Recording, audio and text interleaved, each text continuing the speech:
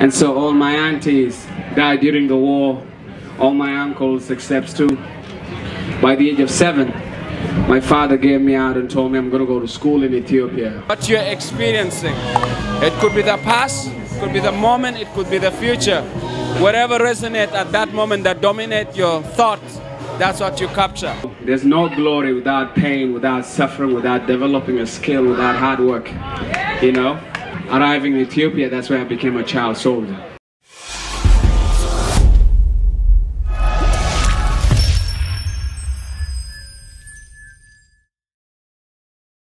In this Mara- Maradaraka festival.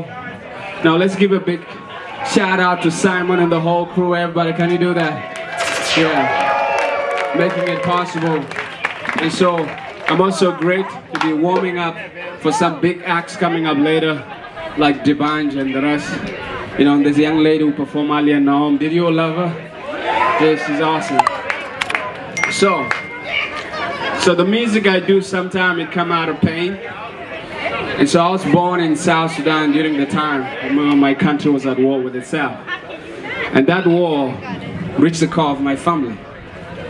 And so all my aunties died during the war, all my uncles except two. By the age of seven, my father gave me out and told me I'm going to go to school in Ethiopia, where we walk hundreds and hundreds of miles. You know, and arriving in Ethiopia, that's where I became a child soldier. So the spoken word I'm going to do now is called forced to sin, which is the lowest point I've ever been as a person. Each and every one of us here will have their lowest point that you'll ever go to. But the coolest thing is, no, there's no glory without pain, without suffering, without developing a skill, without hard work, you know? And when you don't find a meaning in your suffering, you'll exist to suffer. So the coolest thing now, I detach my emotion from the pain of the past so now I can see the value that it has given me. And so when I say forced to sin, you can join me and say forced to sin to make a living. Can we do that? Forced to sin, forced to sin to make a living. Forced to sin. Forced to sin to make a living. Forced to sin. Forced to sin to make a living. Forced to sin. Forced to sin to make a living. Sometimes you gotta lose to win. Never give up. Voices in my brain of friends that were slain. Friends like Lual who died by my side of starvation. And the barren jungle and the desert plain. Next was I, but Jesus heard my cry. As I was tempted to eat the rotten flesh of my comrade. He gave me comfort. We used to raid villages, stealing chickens, goats and sheep, anything we could eat. I knew it was rude, but we needed food. And therefore I was forced to sin. Forced to sin to make a living. Forced to sin. Forced to sin to make a living. Forced to sin. Forced to sin to make a living. Sometimes you gotta lose to win. Never give up. Never give in. Left home at the age of seven. One year later, I leave with an AK-47.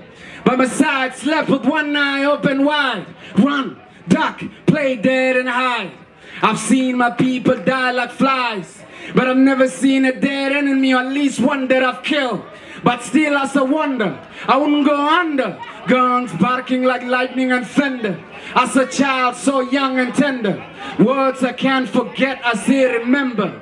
As a sergeant command, raising his hand, no retreat, no surrender. Yigish, I carry the burn of the trauma. War child, child without a mama, still fighting in the saga. Yet as I wait this new war, I'm not alone in this drama. No sit or stop. As I reach for the top, I'm fully dedicated like a patriotic cop. I'm on a fight day and night. Sometimes I'm doing wrong in order to make things right. It's like I'm living a dream. First time I'm feeling like a human being. Ah, the children of Darfur. Your empty bellies and they're telling us you that I'm fighting for. Left home. Don't even know the day I'll ever return. My country's war torn. Music I used to hear was bombs and fire of guns. So many people died that I don't even cry no more. Ask God question, what am I here for? Why my people poor? Why and why? When the rest of the children were learning how to read and write. I was learning how to fight. It's snails, vultures, rats, snakes, and anything that had life. I was ready to eat. I know it's a shame, but who's to be blamed? That's my story of forced to sin, Forced to sin to make a living. forced to sin, Forced to sin to make a living. forced to sin. Forced to sin to make a living. Sometimes you gotta lose to win. Never give up. Never give up. Never give up. Let me see your power sign. Let me see your power sign. For justice, equality, and freedom for all, we shall never give up and never. Give in. For women right, children right, child soldiers right, rights that we don't know that are out there.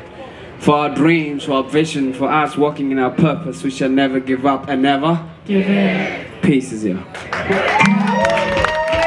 Ladies and gentlemen, who do we have in the mood of Madaraka Festival? Superstar mwenyewe, mzito mwenyewe. Niambie. I tell you, you killed your show, I'm telling you. Ah, asante, asante Yeah, yeah. sana. We, we, we, we saw your, your show and what moved me and what probably people don't know is about your story. Your story. So now you know the story. Everybody has a story, and each one of us have an experience that shapes our lives, our journey. And uh, I, I bring my story into music, and sometimes I talk about other stuff, but my story reminds me and, about where I come from, and then inspire me to go somewhere. Wow, amazing. So most of your music is uh, is advised by your story.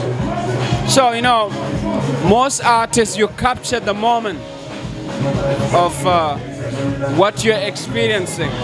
It could be the past, it could be the moment, it could be the future. Whatever resonates at that moment that dominate your thoughts, that's what you capture. Wow, wow, fantastic, fantastic.